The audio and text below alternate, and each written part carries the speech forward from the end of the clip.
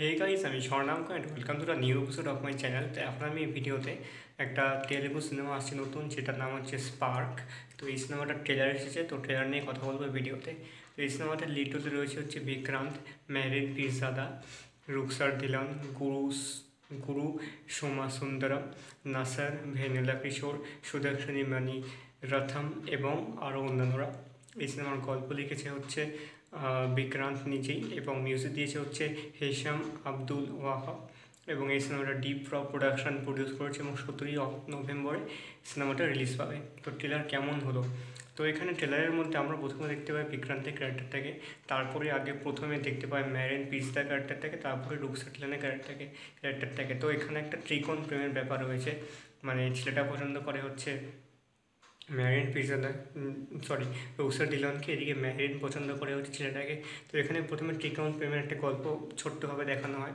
তারপর দেখানো হয় আসল হচ্ছে থ্রিলিং আর ক্রাইম ব্যাপারটা, যে সেখানে পরপর খুন হচ্ছে।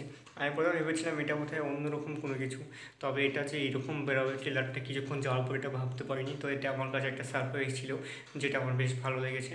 তো তারপরে ধীরে ধীরে ট্রেলারটা যত এগিয়ে যায়, তারপর ইনভেস্টিগেশন ব্যাপার এবং অনেক অ্যাকশন সিন দেখানো হয়, এবং সেখানে ট্রেলারটাকে স্পষ্ট বোঝা যাচ্ছে যেটা অ্যাকশন থ্রিলিং রোম্যান্টিক ড্রামা একটা সিনেমা হতে যাচ্ছে।